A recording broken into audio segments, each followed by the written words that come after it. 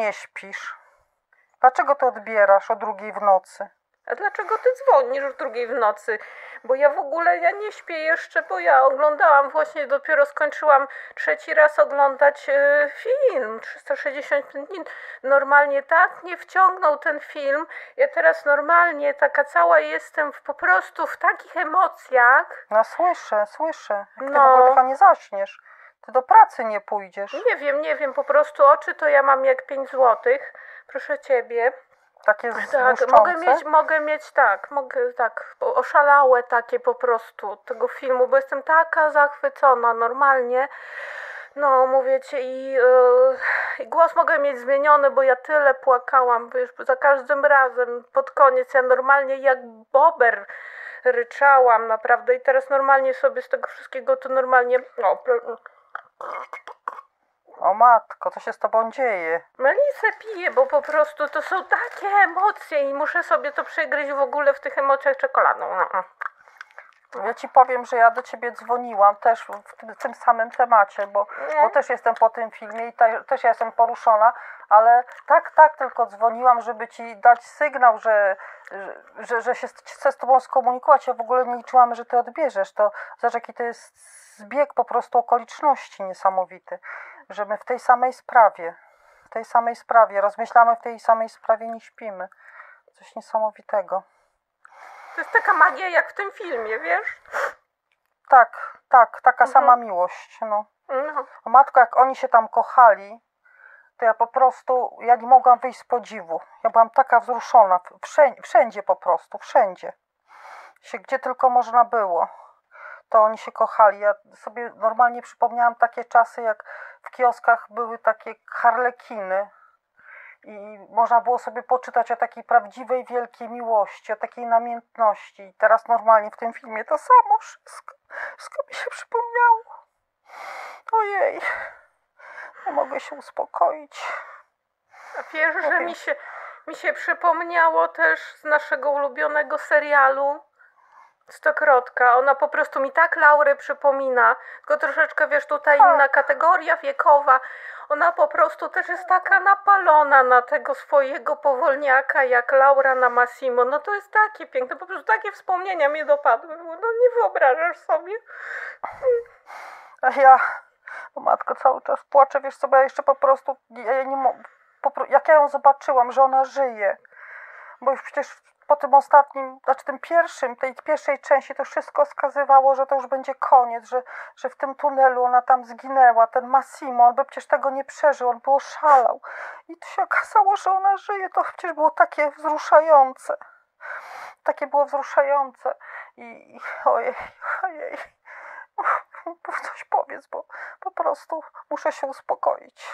O Jezu, no, no co ja mogę powiedzieć? No ja po prostu byłam wzruszona, jak znowu ją zobaczyłam w tej samej sukni ślubnej. Myślisz, że to chyba była ta sama, co ona tam w pierwszej części tak mierzyła? przymierzała z tą koleżanką. Tak, tylko tutaj majtek po prostu jeszcze nie zdążyła założyć, ale w sumie to dla mnie to nie było w ogóle żaden, żadnym problemem. No Przecież jak człowiek kocha, to nie nosi majtek tak No ciągle. oczywiście, tak.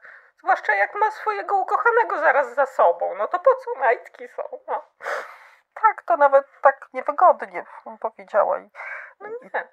i, i, nie, I niewygodnie i tak w sumie nie wiem, czy higienicznie tak później w tych majtkach chodzić. Takich brudnych. No dobrze, że sukienka biała, to przynajmniej śladów nie ma. Tak. Nie? No i to sukienka ślubna właśnie, tak to, ten ślub był taki piękny. Ale jeszcze ci zapomniałam powiedzieć, jak mnie tak scena wzruszyła. Jak to się okazało, ojej, że tam w tym tunelu to dziecko jego nienarodzone zginęło. Że ona, że ona była w ciąży i, i, i tam przez ten wypadek ona tę ciążę straciła. I w ogóle to, że ona mu nie powiedziała, ona mu nic nie powiedziała. A przecież w sumie to nie wiem, czy dobrze zrobiła, bo przecież on był gangsterem.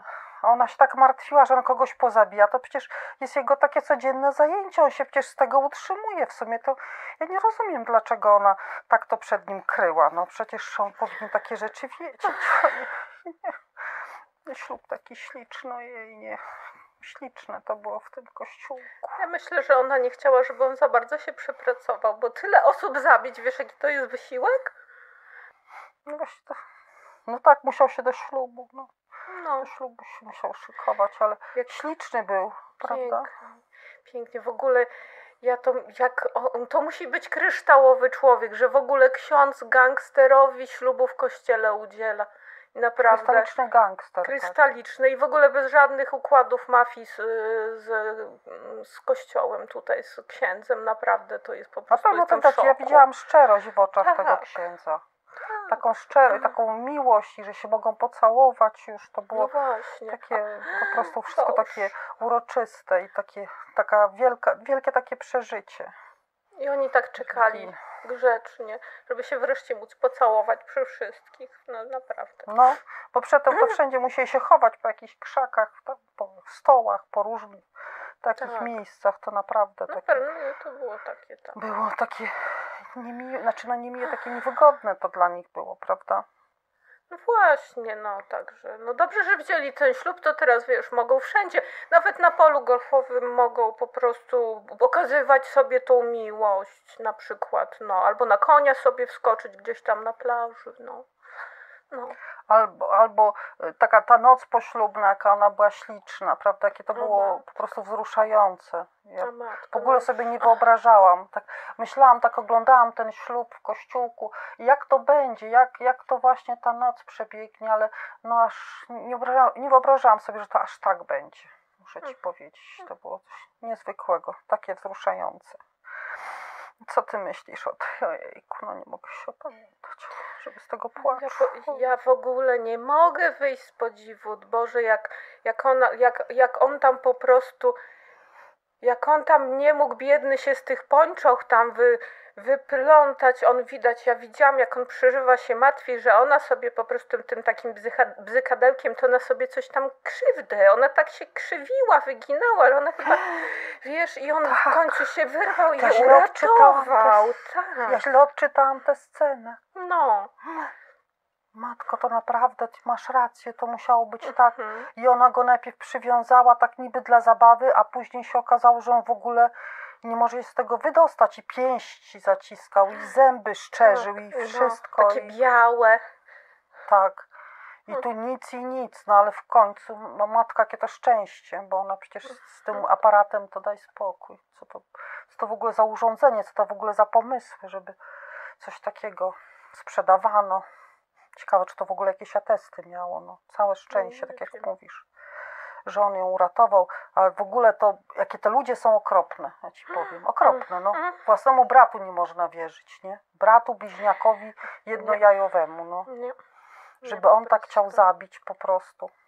No. Ile on tego galimatiasu tam narobił. Ile on tam po prostu porobił tych kłopotów im, prawda? Ojejku, No wiesz, bo ja się po prostu tak martwiłam, że jednak to, że, że on ją widział przed ślubem, to jednak, że to, to pe, pecha im to przyniosło, wiesz. Chyba. Ty masz rację, to tak, Tak, mówi się to przesądy, tak, no. to to, to tamto, to ale widzisz. tak.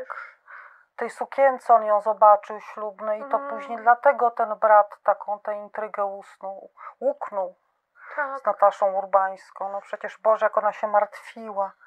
Jak ona przecież w jednej chwili ona uciekła i koniec. I to całe szczęście, że to jednak, widzisz, że to ten ogrodnik był, nie? Że to był ogrodnik taki, który od razu ją tam, się nią zaopiekował, on tam czekał. I, i dobrze, że on jej pomógł, jaki to, to był dobry człowiek. Muszę ci powiedzieć.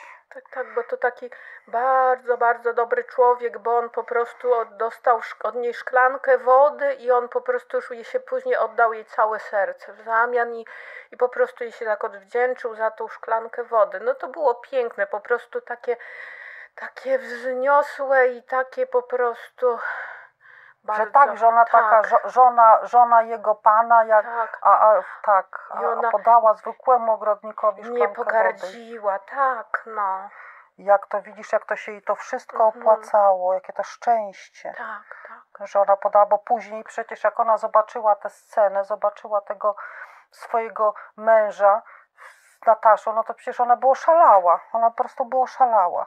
Całe to szczęście właśnie, że, że to przyszedł ten ogrodnik. No właśnie, tak, tak. I on tam zabrał z sobą, ona ten telefon wyrzuciła, to i tylko do matki. Dobrze, jaka dobra dla tej matki, nie? A matka jak za nią też. Tak, to jest, to jest po prostu matka Polka prawdziwa, że ona pójdzie do gangstera i wiesz, i mu w twarz da po prostu jeszcze po angielsku mu po, z wymyśla. No ja to po prostu takie nerwy mnie wzięły w tamtym momencie, a jest jednocześnie podziw dla tej matki, że ona tak po prostu za tą córką jest, no. Tak, ale no przedtem tak y, widziała, a może ona nie wiedziała, że on jest gangsterem, wiesz? Bo tak się w ogóle nic nie martwiła, tylko tak podziwiała, tak sobie tam tańczyła No z tym tatusiem tak. na balu. To może ona nie wiedziała nic, może ona myślała, że on jest jakimś przedsiębiorcą czy coś, nie wiem. Biznesmenem, bo on naprawdę tak wygląda na takiego szanowanego biznesmena i on w sumie też takim szanowanym mafiozo był, no. Po prostu. Ale jakie on prezenty śliczne kupował, Och, nawet te święta, jakie były tak. urocze. No, ja chciałabyś taki sklep, no daj spokój. no chciałabym, bo ja Sklep też, cały. też się interesuję modą, tak jak Laura. To też bym chciała taki sklep dostać, butik taki na własność. Jeszcze buty by mogli sprzedawać i biżuterię, nie tylko te same ciuchy, to ja, ja też chyba bym się umiała takim biznesem zająć. No, ale no daj spokój, taki dobry mąż, bo to ona siedziała w domu, prawda, sama często. Bo on ganiał tam za interesami, to żeby ona miała jakieś zajęcie, prawda. To, Mhm. to tak pomyślał sobie, żeby, żeby ona się nie nudziła. Y, A, a te sceny, o właśnie, że tych scen miłosnych musimy wrócić. To jest, o, o, teraz o, właśnie mówiłaś o tej scenie, takie to chyba było y, w tym miesiącu miodowym, tam na polu golfowym, prawda, jakie to, jakie to inspirujące było. Bardzo. Mhm. Naprawdę by nie przyszło do głowy, że y, w ten sposób można pokazać miłość, że miłość to nie, nie tylko w łóżku, nie tylko jakieś woale, wiatr, prawda, jakiś tam wiejący i bieganie po plaży, ale zwykłe takie granie w golfa też można w scenę miłosną to zmienić. Ja tu właśnie tak sobie pomyślałam takie o tych inspiracjach następnych, że to przecież można nagrać y, na przykład na lodowisku, jak w hokeja grają na przykład. Że to będzie inspirowało wielu kolejnych scenarzystów.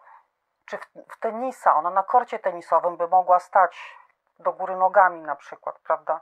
Tak. I też by można było takie sceny nagrywać. To naprawdę to, to, to coś bardzo odkrywczego, bo się teraz tak mówiło, że to kino to już nic odkrywczego, że tylko po, powielają te stare wzorce. A tu naprawdę coś takiego no, no niesamowitego, niesamowita była ta scena.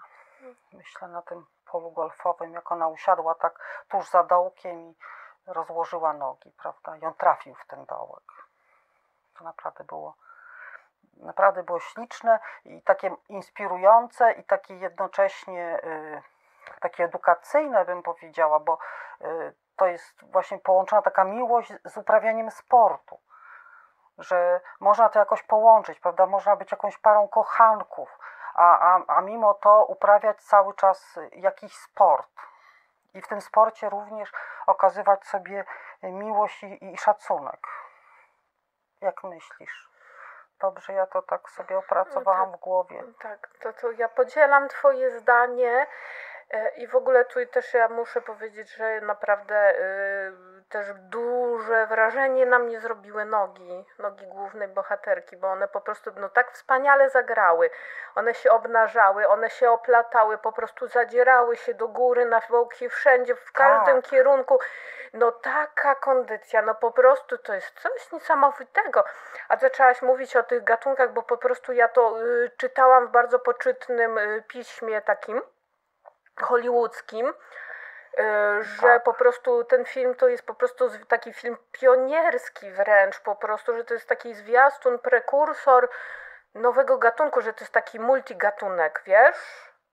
Coś, coś No, czytałaś jeszcze ale- na ten temat? Wiesz, ale, ale co, powiem ci, że coś, coś, w tym, coś w tym jest, bo tak jak tak się głębiej nad tym wszystkim zastanowisz, to, to, to niby tak, może ci się wydaje, że to jest film muzyczny, prawda, bo tam jest mało tej akcji, prawda, a, a, a jednak okazuje się, że nie jest to film muzyczny, bo oni tam nie śpiewają. Tam chyba Massimo coś śpiewa, ale to też nie przy goleniu, tylko po prostu aktor, który gra Massimo. On tam jakiś utwór wykonuje. Tam jest bardzo dużo muzyki ale- Mhm. ale to, to nie jest jakiś musical. Nie można tak powiedzieć, nie No można tego nie. nazwać musicalem, prawda? Y, Nie można tego nazwać komedią, bo tam y, w ogóle, bo ja bym powiedziała, że tam w ogóle nie ma żadnych y, śmieszących scen. Mnie tam No nic nie. tam wszystko tak wzruszało. Tak. I dramat też to nie jest, bo tam jednak no, trochę za mało tej dramy, bo tam tej akcji to takiej y, do płakania to było może na pół godziny, tylko nas tak trzyma po prostu cały czas. Bo to było krótkie, ale bardzo intensywne, Tak, wiesz. tak. I to jak teraz No. w tych nogach przypomnę, jak sobie przypomniałam, daj spokój, to taki film by można było powiedzieć sportowy był może momentami, no ale też nie całkiem. Nie całkiem był to, mimo tych takich elementów sportowych. Y, Gangsterski też on nie był, bo tam za mało było tych porachunków, praktycznie dopiero na końcu się trochę tam postrzelali. Mhm. Erotyczny też nie był, bo za mało było tego wiatru, tego woalu i tej takiej mu- muzyki takiej, takiej jakiejś romantyczno-erotycznej. No. Mhm. I, i, I pornograficzny to też nie można powiedzieć, że to był film, bo to tam za mało po prostu było szczegółów i, i za dużo jednak tej akcji jak na pornograficzny. Także Mhm. naprawdę, tak jak powiedziałaś, taki nowatorski absolutnie. To Tak, tak. dobrze, że to tam Totalnie. doceniają gdzieś w Ameryce, tak, tak? tak, oczywiście. I my jesteśmy teraz, będziemy w Polsce znani, właśnie Polska będzie znana, że, że stworzyła taki nowy, taki multigatunek. Tak, tak. że, że nowe trendy po tylu latach, no daj spokój, tylu było tych u nas wybitnych reżyserów, a, a teraz jest no coś naprawdę niesamowitego i, i, i będziemy docenieni. Ja nie wiem w ogóle, czy wiesz, czy do Oscara to nie będzie nominowany ten film. Bo, bo, no bo taki film, Tak. No jakaś nagroda na pewno. Ja widzę, że wiesz, czuję w kościach, że będzie jakaś nagroda na pewno. Na pewno. no ja też tak właśnie y, przeczuwam, przeczuwam całą sobą, że nagroda tu się jak najbardziej należy za to wszystko, za to właśnie przede wszystkim to, to nowatorstwo i za, to, za te wzruszenia. My tu nie śpimy przecież, prawda, Mhm, północy, to, to przecież nie na próżno. No ale może tu jeszcze o tym właśnie, o tym naczosie, bo tak mało wspomniałyśmy, bo to tylko, że to jego ogrodnictwo podkreśliłyśmy, a to on miał jeszcze wiele innych zalet, prawda? Nie tylko ogrodnictwem się zajmował. Ty tam tak właśnie chyba, wydaje mi się, że on ci się troszkę podobał, czy nie? No bardzo, bardzo, bo to jest taki bardzo, wiesz, taki. Och, to jest taki, wiesz, e, Massimo to jest tak jakby jeden typ e, taki e, ideału mężczyzny, natomiast natomiast trochę bije, bo kocha. tak, to jest taki je- jeszcze inny ideał, bo wiesz, on jest czuły, to taki, wiesz, opiekuńczy i wolny, to co jest naprawdę, to jest tak naprawdę szok, tak? e, Tak, taki chłop, no. Taki chłop, no wolny. nie wolny. I w ogóle wiesz, że on taki, taki dobry, taka po prostu y, wspaniała przyjaciółka. Tak, tak. wspaniała przyjaciółka, bo wiesz, bo on jej tak po prostu opiekował się i w ogóle jej dużo miłych rzeczy mówiła. Prawdziwa przyjaciółka to tak różnie bywa, potrafi coś przykrego Tak, kobiety to powiedzieć albo wredne są, zazdrościć, wiesz Wredne. ale też y, on, ja widzę, że jest taki, też taki bardzo religijny, bo wiesz, różaniec on nosił na szyi, a później wiesz, do seksu zdjął, więc także ma taki szacunek, wiesz, że symbole religijne do seksu zdejmuje. No i w ogóle, Ale i w pudełeczko, ciekawe, Tak. pewnie w pudełeczko jakieś położy, pewnie miał jakieś specjalne. no właśnie, właśnie, tak tego. szkatułkę Mhm. taką, no. Także wiesz, i tutaj tak, no, po prostu. Ale jeszcze on był idealny dlatego, że on wspaniale gotował. On to w ogóle wszystkie problemy, jak ta Laura miała i tak albo chodziła zatroskana, albo, albo nie miała jakieś łzy w oczach, to on to y, zaraz coś jej gotował i podawał. Albo coś do picia i podał, prawda? To było tak, takie tak. Mhm. ciekawe. No widzisz, bo on już wiedział, że ona jest Polką, a znał, y, poznał po prostu, wygooglował sobie takie polskie, Boże, przepraszam, a z tych emocji się rozbijam, takie polskie przysłowie, że przez żołądek do serca, wiesz?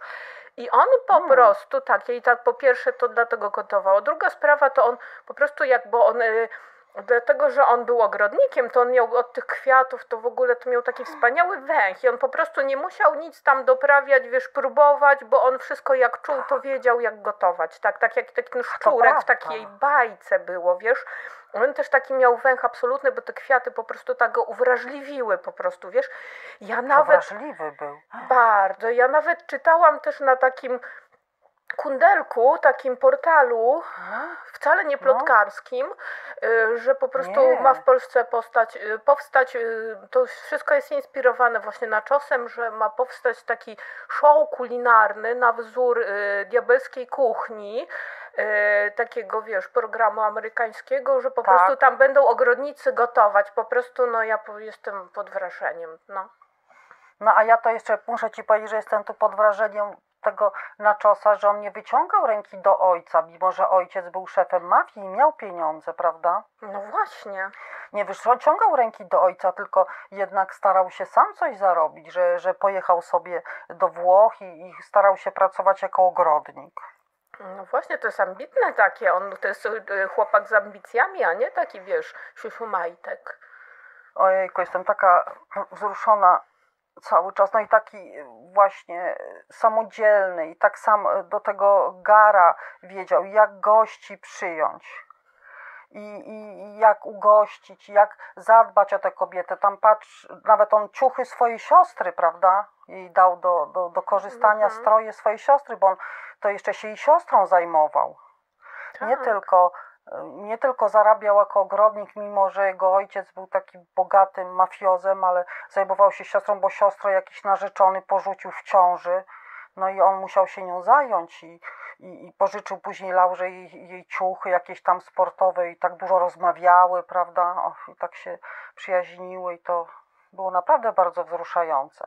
Bardzo. Tylko ja ci, no, no, tylko ja ci muszę powiedzieć właśnie, y, że ja jestem strasznie zmartwiona tym zakończeniem. Tak. Bo ja nie wiem, co to dalej będzie. Nie wiem, ja się strasznie martwię, że wiesz, że nie będzie trzeciej części. Bo to No nie wiesz. wyglądało dobrze. No nie. Nie Tak wyglądało dobrze. Bo on się. No wszyscy się powzięli i zastrzelili prawie. Tam Halko Massimo, to nie wiem, czy on oberwał, czy nie. On serce po pamiętam. prostu oberwał, bo zobaczył, co tam się stało, po prostu widział ją tam, bo on w ogóle nie podbiegł najpierw jej pomóc, bo on po prostu nie wierzył, nie wierzył, że ona oberwała, a w ogóle ona tak się poświęciła w tej scenie, że tyle krwi straciła, naprawdę taki Tak. rozbrysk był, że naprawdę to, to jest tak No padła scena, jak kukła po prostu. tak, padła. tak scena Nikt do zagrana. niej nie przyszedł. Nikt. Nikt. I, I tu Massimo i Nachos, oni to, chyba oni tak oni mieli, to chyba właśnie z Wiesz, tego wrażenia. Ja myślę, że na czas to musiał, przypomniało mu się, że źle zaparkował ten swój piękny samochód. On miał taki super fajną, taką brykę, on po prostu musiał przeparkować, żeby mandatu nie dostać, ja tak myślę, wiesz? I dlatego po, pobiegł. No właśnie, dlaczego on No. tak szybko, dlaczego on tak Tak. pobiegł, no.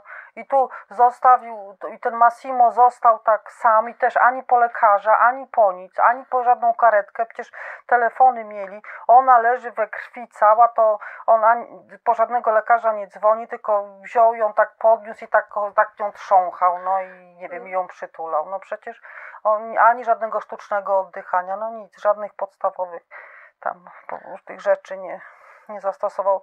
Ja nie wiem, nie wiem jak to się skończy wszystko. Ba- bardzo się martwię. No to jest Co po prostu ba- bardzo, na samą, jak sobie przypomnę, to po prostu głos mi odejmuje z tego płaczu, bo ja to No tak, ja słyszę. tak sobie myślałam właśnie, że czego, czego on rany nie uciska, tak sobie myślę, Massimo, ranę uciskaj, bo ona się wykrwawia, ale wiesz, ja sobie tak pomyślałam, że tak ją bardzo Ja mocno też na kochał, moje słowa. Też Bar- tak bardzo mocno kochał, on po prostu bał się, że ją będzie bolało i dlatego jej, tej rany nie uciskał, wiesz? No może, a wiesz, a może on myślał, że to już na nic, no przecież on już widział, też widzisz, to przecież to jednak z zawodu gangsterem był, to on też już widział niejedną śmierć i, Och, i on może tak. z, widział, że to już nie ma po co. No tak. Też On też wiedział, jak tego brata swojego postrzelić, po prostu, żeby on umarł. Jak, Starannie. tak, starannie. On tak go postrzelił w bark, że, że on po prostu umarł. Nie, to tylko gangster po prostu z dużym doświadczeniem tak potrafi strzelić do kogoś. Tak, inni to muszą czy w serce, czy w głowę. Mhm. A on, widzisz, no strzelił w ramię i go Mhm. zabił. A, a Tak. do Nataszy to kto strzelał? Bo ja już też nie pamiętam z tych nerwów. Nataszę też Nie przecież wiem. tam zabili. Ja nie wiem, kto Ale ją ona zabił. pięknie. Ona tak pięknie ona- umarła, tak pięknie upadła, że po prostu ja uważam, że za tą scenę ona Oscara powinna dostać. W ogóle ona ma wspaniałą rolę tam. Niby drugoplanowa, ale ona na przykład w tej scenie, co zabili tam jakiegoś człowieka po prostu z tym y, złym bratem, to ona tak pięknie tam y, obchodzi te ślady krwi po prostu, żeby szpilek nie, nie obrudzić. Ona wiesz, ona po prostu dba bardzo o eksponaty filmowe, po prostu o, o kostiumy. No to jest naprawdę godne podziwu. No to chociażby dlatego jej się należy coś takiego. No, no Bardzo, ta, tak. na jakakolwiek nagroda, no za tę rolę drugoplanową. Tak. Ja już nie wiem, no czy to. Nie, myślę, że jednak nie. Do Oscarów to chyba będzie nominowane. Na pewno, wiesz, To, to w Cannes Tak. też pewnie pokażą na festiwalu. koniecznie. Nie? tak. Koniecznie, bo to przecież jest nasza chluba narodowa i, Mhm. i, i no, no, szkoda by było, że to gdzieś się kisiło po kątach. No, Żeby tego, nie, żeby tego nie pokazywać, jak są takie możliwości. Mm. Tutaj ten, prawda, mówisz o tym nowym gatunku, no chciałyśmy podkreślić, no mimo, że tu jesteśmy takie trochę niewyspane i takie trochę skołowane po I w ogóle nocy, tak, no. totalnie w rozsypce jesteśmy emocjonalnej. Tak, bo to, Także, to no, nas nas jest- ten film. Zdruzgotał nas emocjonalnie. Tak, ale to w Słuchajcie, takim tak, pozytywnym sensie, żeby nie było, że to po prostu Oczywiście. tak, że, że to coś my... Jakieś, my jesteśmy jakieś skały czy coś. Nie, nie, nie. My naprawdę jesteśmy podatne na takie emocje, jak się jakaś taka wielka miłość rozgrywa na naszych oczach, to, to nam to rozdziera serca. Mm, I bardzo. ten odcinek jest taki nietypowy, jest to odcinek Nieplanowany w ogóle, w ogóle. Nie, nieplanowany w ogóle, to, to nawet nie będzie jakoś specjalnie montowane czy coś, to już to nie ma jak, prawda, bo ty zaspana, y, to, to się kaszlnie, to to, to tamto, a, ale no po prostu takie damy wyda, wydanie takie specjalne, no w związku z zaistniałą sytuacją, że, że wyszedł ten cały film, że nareszcie Netflix opublikował, że mamy taką y, prawdziwą perłę, prawda, nie z lamusa, Nie. współczesną, To wspaniałą taka czarna perłę. perła, czarna perła to jest po prostu jest jeszcze bardziej drogocenna i to taka, tylko proszę nie mylcie z czarną owcą, bo to jest, tak, taki, Nie, nie pomylcie Nie, tego, nie, absolutnie. Tu, tu Capri jak najbardziej słusznie y, podkreśla i nazywa ten film czarną perłą, bo no to coś takiego jak wśród wyjątkowego książek Biały Kruk, bardzo, tak, to jest takie wyjątkowego, tak. wyjątkowe, tak. Tak jak są białe kruki, to właśnie filmowe są y, czarne perły i y, my y, serdecznie polecamy. Bardzo, bardzo po prostu. I nawet w ogóle nie będziemy oceniać tego filmu, bo on jest ponad wszelką oceną. Tu nam mi brakuje po prostu gwiazdek mojej skali i w ogóle Tak, on, to on to, się, mało, trzy. to jest ponad oceną i krytyką, bo to jest takie arcydzieło, że po prostu tego to nie ma co oceniać. To jest po prostu, to trzeba no, zobaczyć po prostu i poczuć Arcydzieło samo się obroni. Oczywiście, samo. To, tak. Tu No. nie trzeba punktować, y, tu nie trzeba się czepiać poszczególnych elementów, albo że są jakieś może gdzieś niedoróbki. Nie, po prostu patrzmy Nie. na to jak na całość, jak na absolutne, skończone arcydzieło multi, y, jak to nazwałyśmy? Multigatunkowe, absolutne nowatorstwo. Taki piękne Czegoś takiego jeszcze nie było. Włochy takie Piękne. Hiszpania piękna, no po prostu, no po co jechać do, po co jechać za granicę, jak można sobie pooglądać po prostu to na ekranie u siebie w Tak, i po co monitorze to gdzieś tam na koncerty telewizorze. chodzić, tak, jak można sobie fajnych piosenek posłuchać, bardzo oglądać film i nastrojowych. sobie posłuchać bardzo Tak, i fajnych posłuchać jak nastrojowych śpiewa ten y, y, m, Morone. Tak. Tak. I po co to w ogóle włączać sobie jakieś programy sportowe, jak tu, jak powiedziałaś, je, jest sport. To jest film, w którym jest po prostu wszystko. Wszystko. Można go oglądać w kółko i ciągle będzie nam dostarczał nowych wrażeń. Tak wszystko w pigułce po prostu. Tak. Tak, I o gotowaniu, bo tam jest jak paele zrobić, tak bo właśnie. tam widać po kolei, co on wkłada. I on jeszcze w ogóle to wszystko na, chyba na dworze gdzieś gotował, to chyba nie było w żadnym Na pomieszczeniu. powietrzu To- to było, tak, tak. Takie Tak. Pa, patio, takie, nie wiem co to, bo wiesz, bo, po prostu ta ja byłam tak... chyba z owoców morza, to chyba Tak, tak, tak, właśnie, tak, żeby od razu się wietrzyło. No, Mhm, piękne, piękne. bardzo. Także chyba nie wiem, czy dam radę zasnąć, kochana. No ja tu już dzisiaj to wiesz, oka nie zmrużę po prostu już. No ale już musimy jakoś kończyć, no No, i musimy. zachęcamy. Musimy kończyć i serdecznie zapraszamy. Bardzo, serdecznie za, bardzo, zachęcamy. bardzo, A my bardzo. już idziemy spać. Dobranoc. Znaczy idziemy, próbujemy usnąć, będziemy próbowały usnąć. Dobranoc Dobranoc, wszystkim. dobranoc. Bardzo serdecznie. kochani. Pa, pa, Pa, pa. pa.